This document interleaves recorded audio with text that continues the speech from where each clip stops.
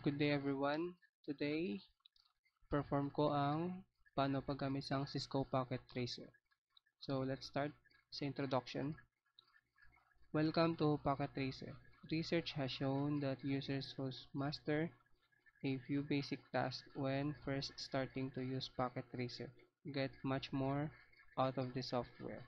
This lab is designed to familiarize a user with Packet Tracer's features. This activity should take approximately 30 minutes to complete.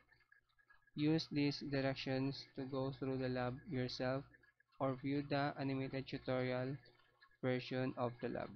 So, mag-proceed na ta sa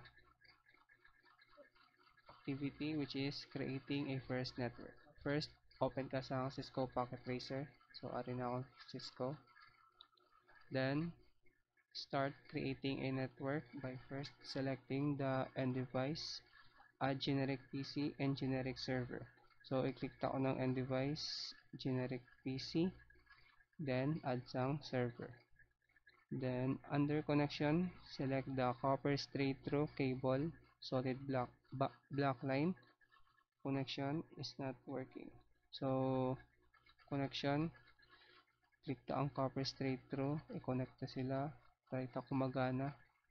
So, pag nag-red, which means nga wala sila gagana, pag hindi sila compatible, so, i-delete ta sila.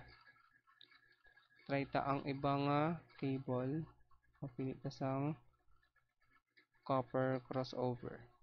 I-try ta sila connect. So, nag-green, ibig sabihin, compatible sila sa isa kag isa, kag connected. So, proceed sa number 3. Click on the PC while paying attention to the link lights. Turn the power on, off. Click the PC. Try tayo on kag off. So, ini naka-on sa subong kay may kasiga nga light. Then, try ta off.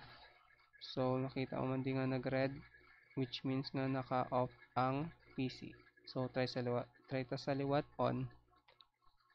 Then, nagtaon ta sa server kung mayara. Sorry, may naka-on. Try tayo off. Nag-red. Then, i-on ta. Nag-green naman sa liwat. Then, proceed sa number 4. Try all three ways to learn about the devices. First, mouse over the device to see basic configuration information about them. Second, click on the each device with the select tool to show the device configuration window which provides several ways to configure the device. Third, use the inspect tool. View the tables the network device will build as it learns about network around it. So, try ta inspect ang server kung may unod na iya table. So, wala pa. Tantaon ako magsunod na karon. So, X lang. Proceed sa number 5. Open PC configuration window. Open PC. Then, cut sa configuring configuration tab.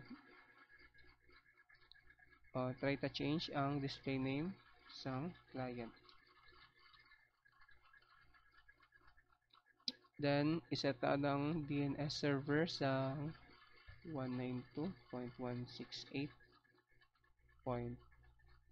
192.168.0.105. Under the interface, click the fast ethernet. Click lang ang fast ethernet. Set the IP address. Click lang ang IP address. Set mo sa sa 192.168.0.110.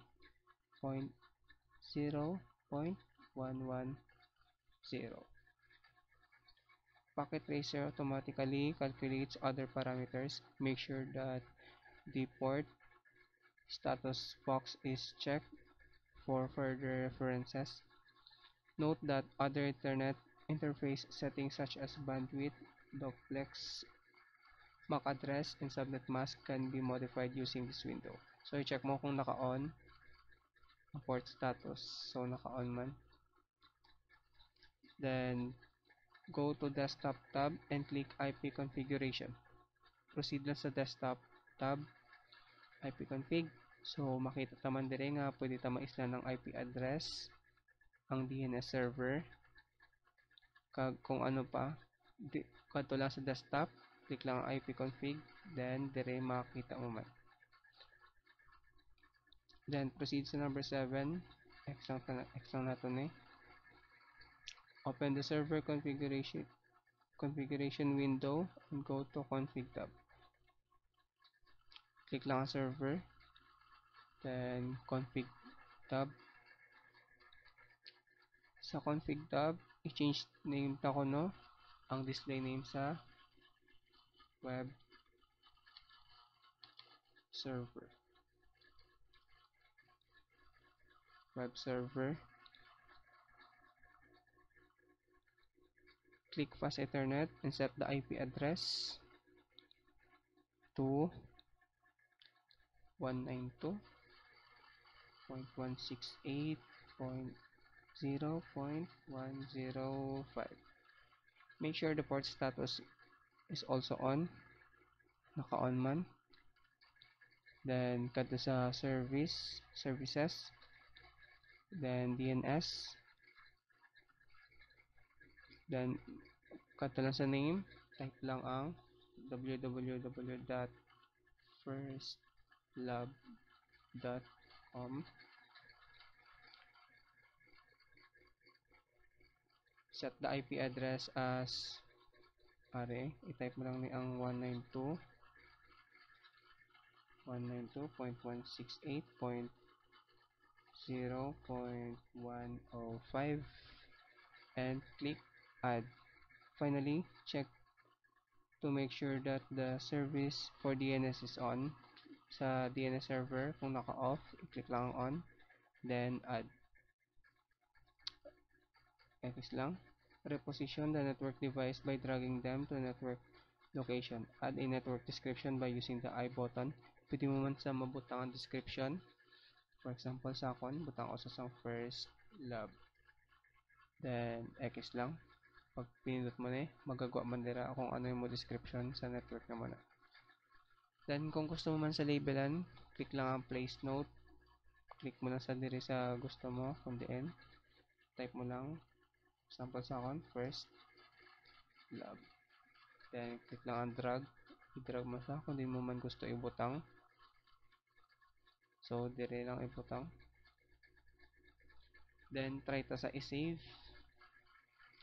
save your network using the file save as option and create meaningful file name. So click lang ang file save as then butang ka lang si mo desire nga name.